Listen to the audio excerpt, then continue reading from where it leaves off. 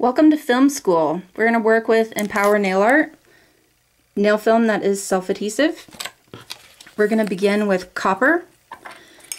These nails have a great C-curve, which also makes it slightly complicated to fit when you're trying to apply a film.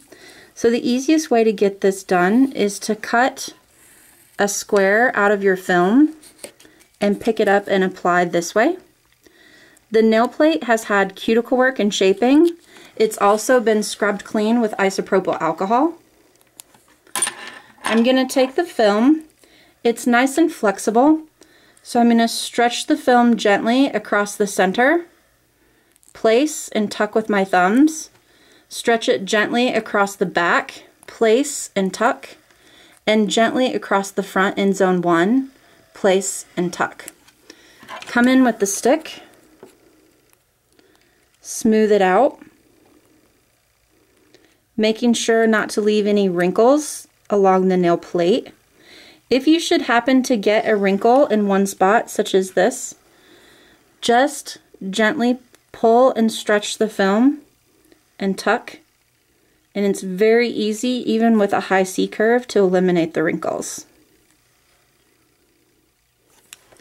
Then we're going to come in and just pull down along the edge to ensure it's smooth and slice off the excess with a crystal file by filing in a downward motion across the free edge. This can be done on a natural nail, it can be done on enhancement. You can use Empower over any nail coating, including polish and gel polish.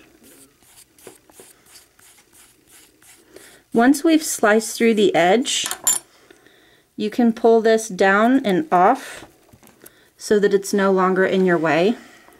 Gently, slightly lift up one side so that you can come in with the squeezers.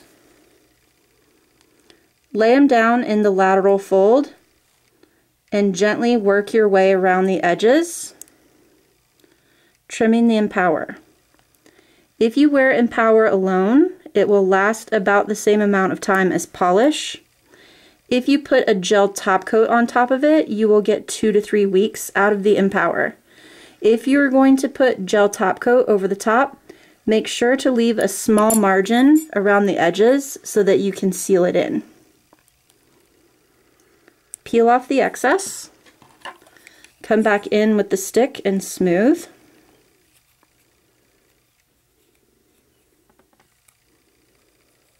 And you have your full coverage Empower application. Have fun, and thanks for coming to film school.